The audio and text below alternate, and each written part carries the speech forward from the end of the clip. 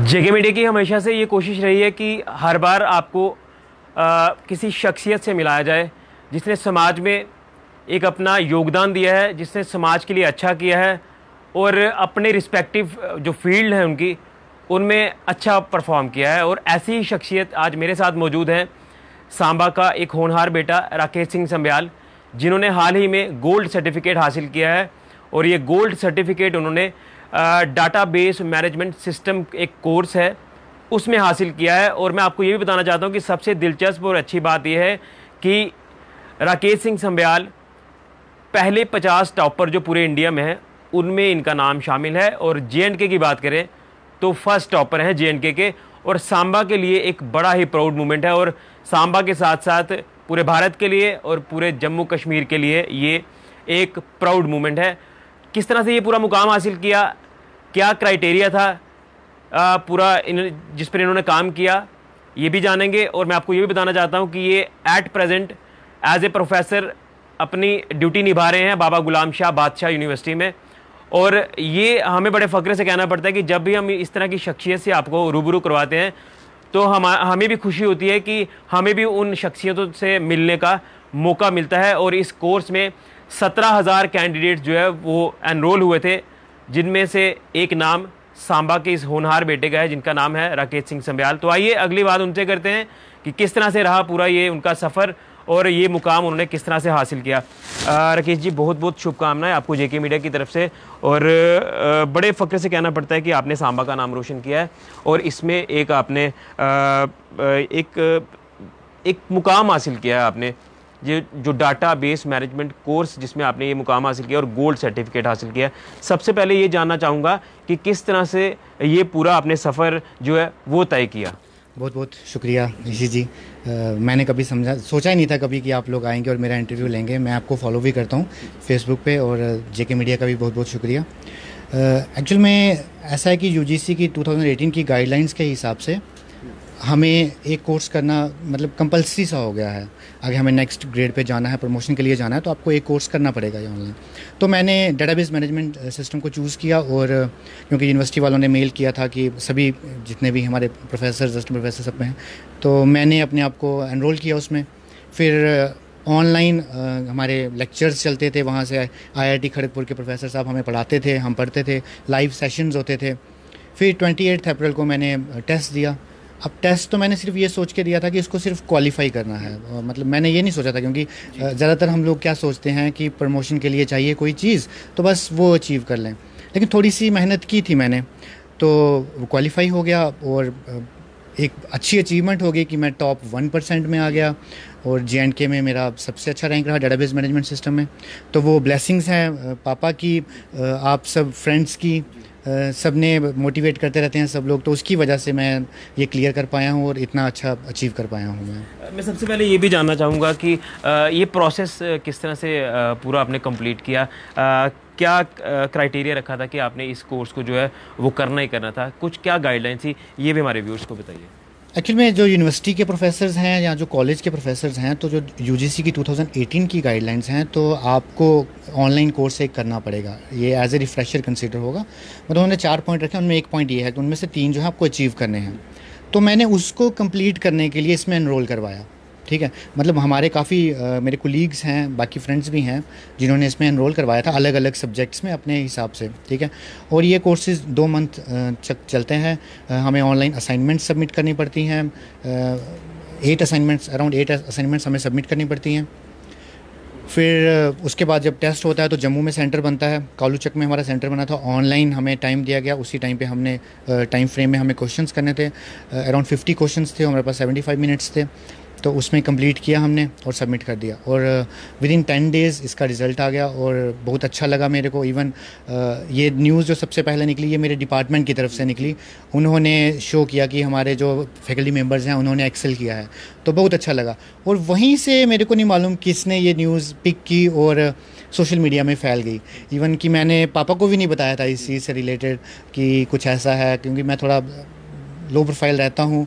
तो लेकिन ये सोशल मीडिया में ऐसे और सबने इतना प्यार दिया इतना सपोर्ट किया आप लोगों ने आपके फ्रेंड्स ने जब मेरे फ्रेंड्स हैं जो मेरे बैचमेट्स हैं इन्होंने सोशल मीडिया पे ऐसे वो फैला दिया कि वाकई में मेरे को खुद अब प्राउड फील हो रहा है कि मैंने कुछ अचीव किया है। तो इसमें आप सबका बहुत योगदान है। चलिए आप प्रोफेसर हैं बाबा गुलाम शाह बादशाह यूनिवर्सिटी में और आईटी से बिलोंग करते हैं। चलिए, गुरु की भी बात करेंगे, लेकिन सबसे पहले मेहनत की जब बात करते हैं, हालाँकि मेहनत की है तो आप, आज आप प्रोफेसर हैं, लेकिन इसके लिए, इस मुकाम को हासिल करने के लिए कितनी मेहनत करनी पड़ती है? एक सिस्टमेटिक वे में चलना पड़ता है जब आप डिसाइड कर लें कि मेरे को अचीव क्या करना है। मैंने बीटेक की, मैं जब फाइनल ईयर में था तो हमारा इंजीनियरिंग में गेट एग्ज़ाम होता है, सुना होगा आपने। तो वो फाइनल ईयर में था तो मैंने वो गेट दिया कि मैं आगे हायर स्टडीज़ में जाऊँगा। और ऊपर वाले की कृपा, घर वालों की ब्लेसिंग्स वो क्लियर हो गया।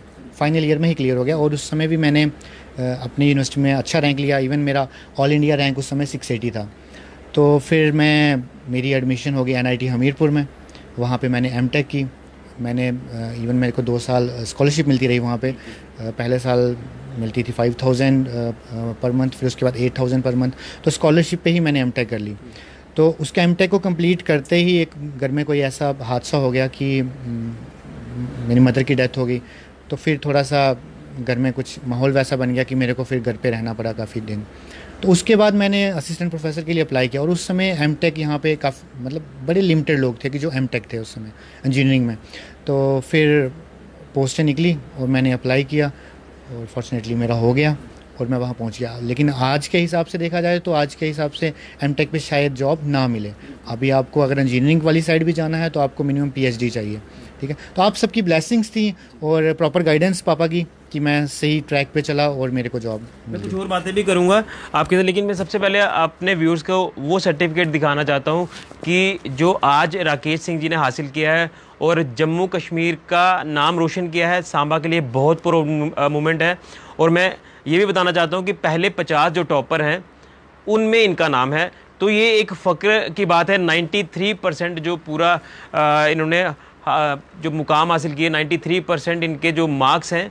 और इस कोर्स के लिए कई बड़ी मेहनत करनी पड़ती है। हालाँकि ये प्रोफेसर हैं, वहाँ पर बच्चों को भी पढ़ाते हैं, लेकिन उसके बाद अपनी भी तैयारी करनी है।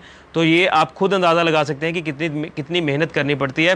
और वो सर्टिफिकेट जिसके लिए राकेश सिंह जी को इस सर्टिफिकेट से नवाजा गया। मैं राकेश जी से कहूँगा कि ये सर्टिफिकेट हमारे व्यूर्स को बताएँ कि ये वो मुकाम है जो राकेश सिंह जी ने हासिल किया। थोड़ा सा पैन करके भी मैं आपको बताऊँगा कि इस पर साफ़ लिखा हुआ है, राकेश सिंह संब्याल जिन्होंने ये मुकाम हासिल किया डाटाबेस मैनेजमेंट सिस्टम और आप देख रहे हैं कि 93 परसेंट जो इनका स्कोर है, जो उन्होंने हासिल किया और एक साइड पर आप मोहर जो लगी हुई देख रहे हैं, ये टॉपर वन परसेंट यानी यहाँ से साबित हो जाता है कि ये जम्मू कश्मीर में पहला टॉपर है, जिन्होंने ये मुकाम हासिल किया। तो इनके पापा मौजूद है, अगली बात उनसे भी करेंगे क्योंकि पेरेंट्स का रोल और सपोर्ट कितना होता है ये आप अच्छी तरह से जानते हैं। इसे भी हम ज़्यादा नहीं बता पाएँगे लेकिन आप सबको पता है कि कितना सपोर्ट और उनका रोल रहता है। आ, सर आपसे भी जानूँगा कि कितनी सपोर्ट आप रकेश जी को करते रहे कितने कितना कितना फ़क्र होता है कि आज आपका बेटा इतना मुकाम हासिल करके आया है?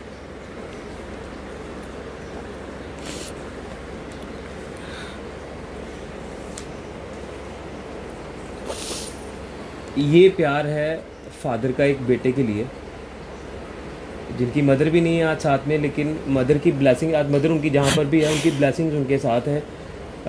इतनी बात नहीं कर पा रहे लेकिन फिर भी आ, इनके मुँह से मैं ज़रूर सुनूँगा अपने बेटे के लिए कि वो कितना सपोर्ट करते हैं। ये खुशी के आँसू हैं, मैं जानता हूँ, लेकिन कितनी सपोर्ट आप अपने बेटे को करते रहे जो इतना अच्छा मुकाम हासिल किया है एज ए प्रोफेसर एक यूनिवर्सिटी में बच्चों को जो है वो, उनको सिखा रहे हैं, उनको पढ़ा रहे हैं, उनका अपनी स्टेट का नाम रोशन कर रहे हैं, सांबा का नाम रोशन कर रहे हैं। कितनी खुशी होती है एक, अपने, एक एक बाप को कितनी खुशी होती है? नहीं, मुझे तो बहुत खुशी है, और मैं मैक्सिमम इसको इज़ वेरी नाइस ऐसा बेटा कब लोगों को मिलता।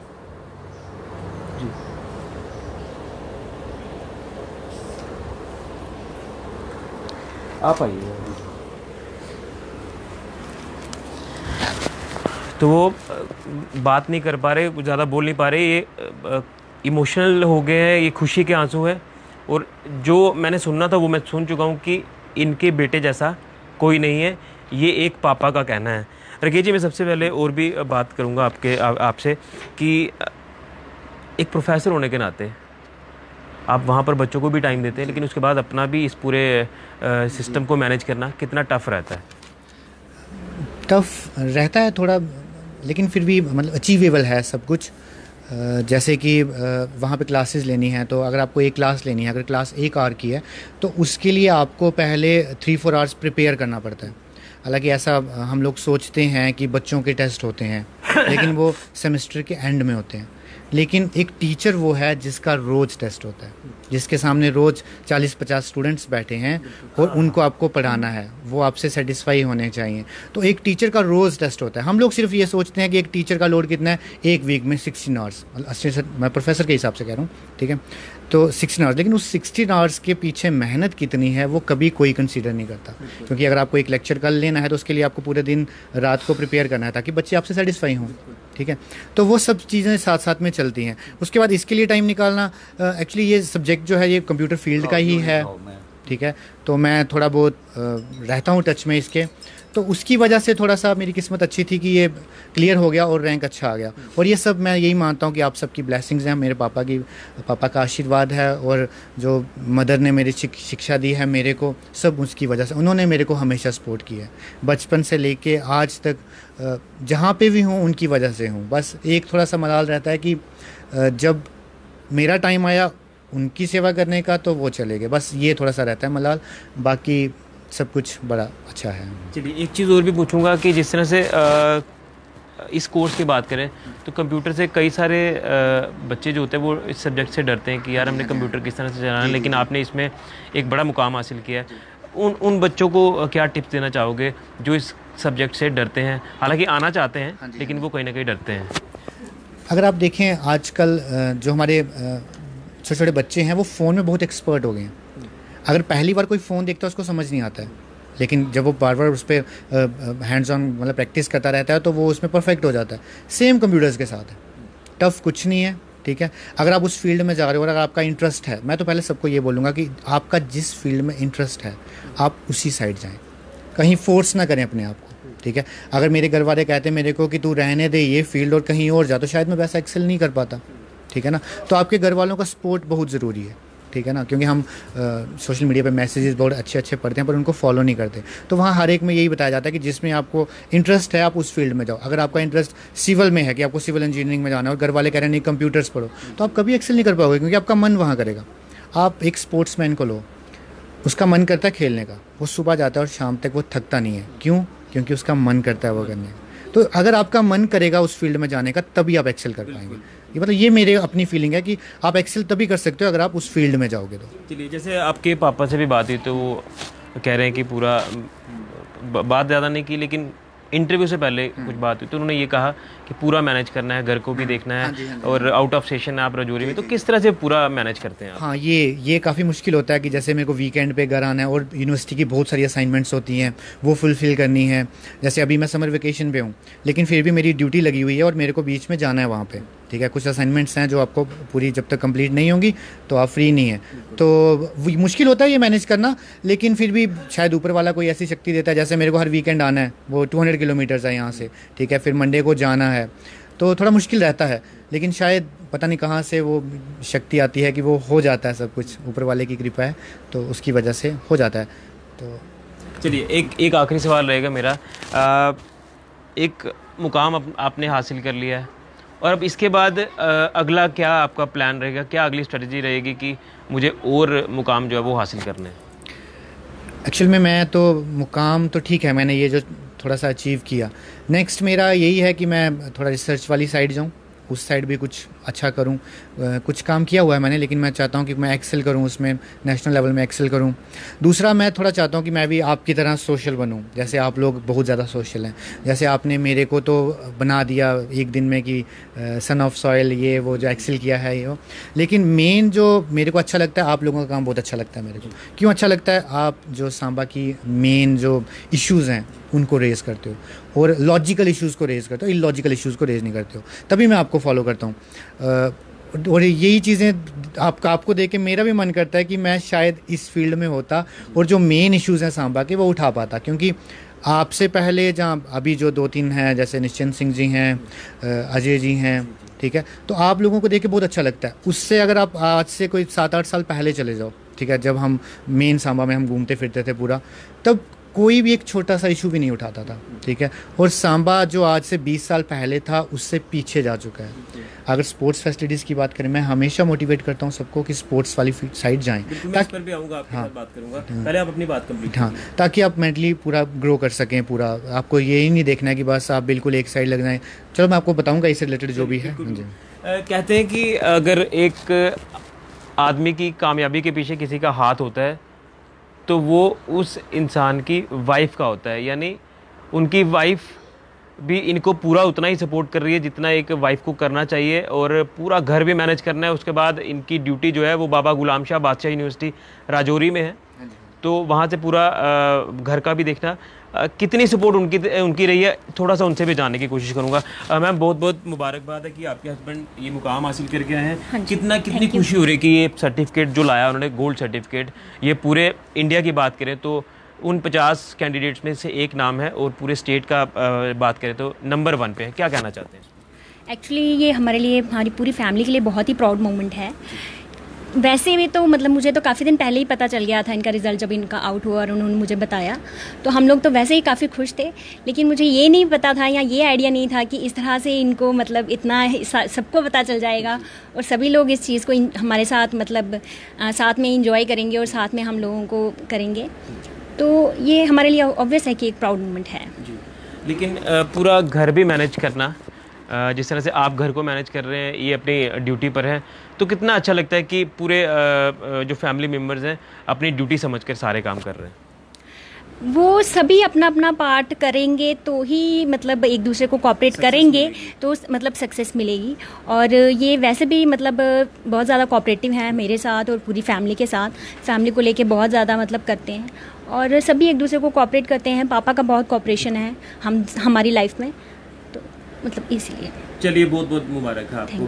तो रखिए जी लास्ट में पूछूँगा कि इसके साथ साथ आपका एक इंटरेस्ट स्पोर्ट्स की साइड भी आपने अभी खुद ही बात की तो क्रिकेट में काफ़ी ज़्यादा शौक रखते हैं आप।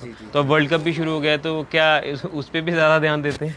हाँ जी हाँ उसके लिए उसमें भी टाइम निकाल रहे हैं क्योंकि क्रिकेट बचपन से मेरा शौक जो था वो स्पोर्ट्स को एक पार्ट बना के चलना बिल्कुल बिल्कुल। मैं आपको बताऊँ अपना अपनी फीलिंग्स बताऊँ तो बचपन से शौक था कि क्रिकेट खेलूँगा। स्टेट को रिप्रेजेंट करूँगा कंट्री को रिप्रेजेंट करूँगा। और इसमें जो मेरी सबसे बड़ी सिस्टर हैं रेखा संब्याल उनकी कठुआ में शादी हुई है वो मेरे को इतना सपोर्ट करते थे और मेरे को कहते थे तू खेल। लेकिन जब तू एक अच्छा प्लेयर बन जाएगा और रिप्रेजेंट करेगा, मेरा नाम नहीं भूलना। तो तभी मैं आज उनका नाम ले रहा हूँ, रेखा संभ्याल उन्होंने बहुत सपोर्ट किया मेरे को। और मैं क्रिकेट साइड रहा। ट्वेल्थ तक मैंने बहुत क्रिकेट खेला फिर जम्मू में कैंप में भी गया मैं वहाँ पे भी रहा काफ़ी दिन फिर इंजीनियरिंग की सीट निकल गई फिर इंजीनियरिंग शुरू कर दी। तो पापा कहते अब रहने दे अब इस साइड जा। तो पापा ने मेरे को मेरा इंटरेस्ट था आईटी में ऑलरेडी हाँ अप्स एंड डाउन रहे ठीक है। फिर उसके बाद मैं जब एम में चला गया एनआईटी में तो वहाँ मैं कैप्टन था क्रिकेट का इवन वॉलीबॉल का भी कैप्टन था वहाँ पर मैंने फुटबॉल भी खेला सब कुछ। लेकिन क्रिकेट मेरा मेन था ठीक है। फिर उसके बाद आए फिर स्टेट के लिए भी खेला क्रिकेट तो रिप्रेजेंट किया। लेकिन कहीं ना कहीं रह गया दिल में कि जिस लेवल तक पहुँचना चाहिए हम लाल रह गया कि नहीं पहुँचे। लेकिन मैं खुश हूँ कि मैं जिस फ़ील्ड में भी हूँ। लेकिन मैं सभी को ये ज़रूर कहना चाहूँगा कि आपको स्पोर्ट्स की तरफ़ भी जाना चाहिए। पढ़ना बहुत ज़रूरी है। फिटनेस हाँ फिटनेस बहुत आप सबसे पहले स्पोर्ट्स से टीम वर्क सीखते हैं। आप आजकल देखें जो बच्चे बहुत ज़्यादा पढ़ते हैं वो डिप्रेशन में चले जाते हैं। क्यों? क्योंकि वो बाकियों के कॉन्टैक्ट में नहीं रहते। आप लोगों से मिलोगे नहीं तो सीखोगे कैसे? तो मैं इसलिए चाहता हूँ कि आप इंडिविजुअल नहीं मैं टीम टीम गेम्स में इन्वॉल्व हूँ। एक आखिरी सवाल कि उनको क्या टिप्स देना चाहते हैं जो इस फ़ील्ड में आना चाहते हैं? जिस तरह से आप हाँ एक आईटी की फ़ील्ड में हाँ। उनको क्या आप टिप्स देना चाहते हैं कि किस तरह से स्टडी करनी है किस तरह से पूरा टाइम शेड्यूल को बनाना है? मैं तो यही कहूँगा उनको कि आपको ज़्यादा टाइम देने की ज़रूरत नहीं है। कम टाइम दो। अगर आप जितना लेकिन जितना टाइम दे रहे हो एट ए टाइम तो उसी तरफ़ कंसंट्रेट करो। ये नहीं कि साथ में फ़ोन भी चल रहा है, ठीक है, और साथ में पढ़ाई भी चल रही है, ठीक है? अपना एक शेड्यूल बनाइए और कोशिश करें सुबह पढ़ने की। अगर आप सुबह जल्दी उठते हैं, सुबह पढ़ते हैं तो वो बेटर है, ठीक है? उस समय बिल्कुल सुकून रहता है, सब मैं सुबह ही पढ़ता था, ठीक है? फिर उसके बाद शाम को थोड़ा निकलें, बाहर खेलें वॉक करें। हर एक के लिए अलग अलग टाइम फ्रेम रखें और डिसाइड करें आपका मोटिव क्या है। उस टाइप जबरदस्ती- ज़बरदस्ती हाँ जी ज़बरदस्ती नहीं बिल्कुल बहुत बहुत शुक्रिया। और एक बार फिर से वो सर्टिफिकेट गोल्ड सर्टिफिकेट हमारे व्यूअर्स को बताइए। जो व्यूअर्स अभी हमारे साथ जुड़े होंगे कि ये वो सर्टिफिकेट है जिस पे साफ़ लिखा हुआ है कि ये सर्टिफिकेट डाटाबेस मैनेजमेंट सिस्टम में इन्होंने हासिल किया है जिसमें 93 परसेंट इनका स्कोर है। और ये जो मोहर है ये टॉपर फ़र्स्ट यानी ये जे एंड के को दर्शाता है कि ये जे एंड के में नंबर वन टॉपर है और पहले पचास टॉपर जो पूरे इंडिया में है इनमें उनका नाम है। तो ये एक गर्व की बात है सांबा के लिए, जम्मू कश्मीर स्टेट के लिए और भारत के लिए कि आज जो सांबा का जो है वो कहीं ना कहीं सांबा का नाम भी उस पूरी लिस्ट में आ चुका है। और हम भी लगातार यही कोशिश करते हैं कि उन शख्सियतों से आपको रूबरू करवाया जाए, जिन्होंने समाज में कुछ हासिल किया है। जो समाज के लिए कुछ कर रहे हैं और समाज में अच्छा परफॉर्म कर रहे हैं। तो मैं आपको ये भी बताना चाहता हूँ एक बार फिर से कि ये बाबा गुलाम शाह बादशाह यूनिवर्सिटी में एज ए प्रोफेसर वहाँ पर कार्यरत हैं, वहाँ पर ड्यूटी कर रहे हैं और उसके साथ साथ अपना भी पूरा टाइम मैनेजमेंट को लेकर चल रहे हैं और एक एग्ज़ाम जो ऑनलाइन हुआ डाटा बेस्ड मैनेजमेंट सिस्टम में, जिसमें 93 परसेंट का इनका स्कोर है पूरे इंडिया में। तो ये बड़े फ़ख्र की बात है कि आज इन्होंने गोल्ड सर्टिफिकेट हासिल किया है और सांबा का नाम रोशन किया है और हमारी भी ये जद्दोजहद लगातार जारी है कि उन शख्सियतों से आपको रूबरू करवाया जाए जो समाज में कुछ कर रही हैं और ऐसा ही काम किया हमारे सांबा के होनहार बेटे ने, जिनका नाम राकेश सिंह संब्याल है और उन्होंने टिप्स भी उन बच्चों को दिए जो इस आईटी के फ़ील्ड में आना चाहते हैं। तो एक बार फिर से राकेश जी, हमारी तरफ़ से आपको पूरी फैमिली को और आपको बहुत बहुत मुबारकबाद, शुभकामनाएँ। बहुत बहुत शुक्रिया आपने मेरे को इस काबिल समझा कि मैं बता सकूँ ये सब। बहुत बहुत शुक्रिया आपका जेके मीडिया का।